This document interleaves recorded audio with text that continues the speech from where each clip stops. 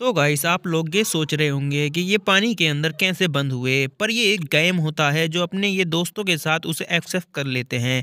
उसे एक्सेप्ट करने के बाद में ये कितने टाइम में इस पानी के अंदर से बाहर निकल पा ये गेट खोलने में अनसफल हो जाते हैं। फिर इनके फ्रेंड लोग इन्हें इशारा करते हैं कि आप इधर आए, ये कंच का गिलास है, इसके पास जाएँ और इसको तोड़ दें। वो उनकी ये बात सुन के गिलास की ओर बढ़ते हैं। धीरे धीरे वो तैरते हुए उसके पास जा रहे होते हैं। ये वीडियो में आप देख सकते हैं। उसको वो खोलने की कोशिश करते हैं, पर वो खुल नहीं पाता।